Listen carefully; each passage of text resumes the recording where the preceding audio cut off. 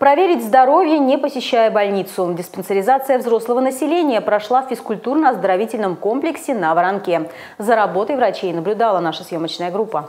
Сдать необходимые анализы, пройти осмотр узких специалистов смогли сотрудники ФОКа и люди, которые занимаются на его базе физкультурой в рамках программы «Активное долголетие». Мы проводим первый этап, делаем общий анализ крови, биохимию крови, внутриглазное давление, электрокардиограмму, антропометрию.